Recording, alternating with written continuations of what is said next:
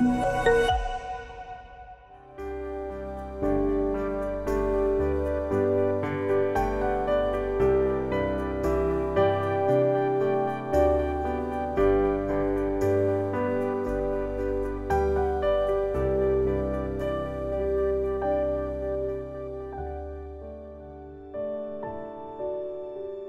Thành lập vào năm 2021, Hợp tác xã Nông nghiệp Công nghệ cao Thăng Bình với thương hiệu Nông trại 43 Farm hoạt động ở lĩnh vực sản xuất rau củ quả an toàn, các sản phẩm chế biến sâu từ rau củ và dịch vụ du lịch trải nghiệm nông nghiệp sạch.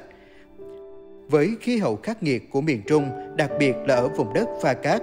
để rau củ sinh trưởng và phát triển tươi tốt như thế này, chị Trang đã ứng dụng mạnh mẽ công nghệ cảm biến IoT, theo dõi chuyển biến qua Internet – Công nghệ giúp cập nhật các dữ liệu liên quan đến độ ẩm, nhiệt độ, ánh sáng, độ pH cũng như nồng độ dinh dưỡng và nhiều chỉ số khác để dễ dàng theo dõi tình trạng môi trường và đưa ra giải pháp hữu hiệu như thiết lập thời gian tưới, thời gian chiếu sáng giúp tăng năng suất tới 200%.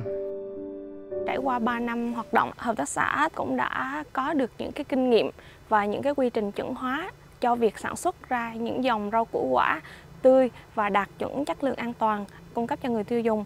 bởi vì đặc thù của tỉnh Quảng Nam là cái vùng khí hậu đây là rất là nắng nóng và khắc nghiệt, đồng thời là chịu áp lực bởi thiên tai và bão lũ do vậy à, cái à, yêu cầu đặt ra đối với hợp tác xã là phải có một cái quy trình chuẩn sản xuất vừa đạt à, tiêu chuẩn sạch, đồng thời là phải đáp ứng được cái năng suất và cái hiệu quả cao.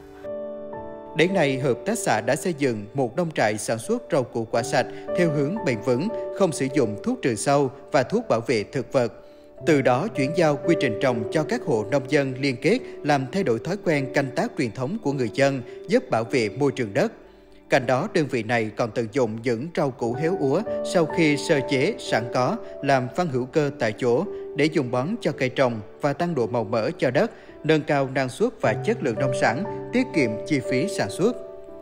Hợp tác xã đã xây dựng kỹ thuật canh tác theo hướng hữu cơ đối với 10 loại rau củ quả, đảm bảo an toàn theo tiêu chuẩn ISO 22000-2018. Đơn vị này cũng đã có hai sản phẩm chế biến sâu là bột rắc cơm từ rau củ, bột rau xanh từ đầu hạt và rau củ. Vừa qua, hợp tác xã cũng đã ký kết với cơ sở sản xuất, phân phối sản phẩm từ sen và nông sản xanh Nam Song ở thị xã Hoài Nhơn, tỉnh Bình Định về liên kết sản xuất và tiêu thụ sản phẩm. Tôi ký kết với Bốn Farm vì cái lý do tức là đảm bảo các tiêu chí về xanh sạch và các nông sản về rau sạch à, và đỡ từng trải nghiệm các sản phẩm của Bốn Farm nên các bộ tiêu chí về xanh sạch này đáp ứng được tiêu chuẩn của tôi. Mình muốn à, các sản phẩm về à, Quảng Nam thì những sản phẩm xanh sạch như Bốn Farm được lan tỏa và được kết nối với địa phương nhiều hơn. Tháng 6 năm 2024, chị Trang đã đưa dự án ứng dụng công nghệ cao vào sản xuất rau củ quả tươi và các sản phẩm chế biến sâu từ rau củ theo hướng chuyển đổi xanh, thích ứng với biến đổi khí hậu tại huyện Thăng Bình, tham gia cuộc thi phụ nữ khởi nghiệp sáng tạo do Hội Liên hiệp Phụ nữ Việt Nam tổ chức.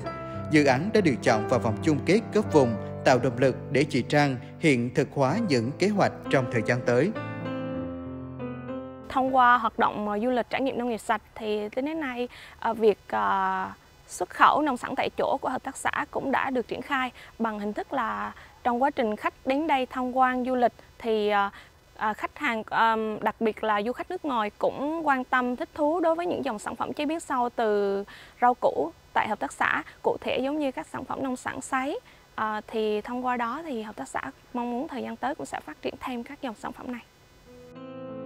Nông nghiệp công nghệ cao đang là xu hướng trên thế giới cũng như ở Việt Nam bởi việc trồng và chăm sóc rau củ quả theo hướng tự động hóa dựa trên nền tảng công nghệ số giúp tăng năng suất cây trồng, giảm thiểu chi phí nhân công, mang lại hiệu quả kinh tế cao, giảm thiểu tác động tiêu cực của yếu tố thời tiết. Dự án này có khả năng ứng dụng cao và nhân rộng trên quy mô trong thời gian tới.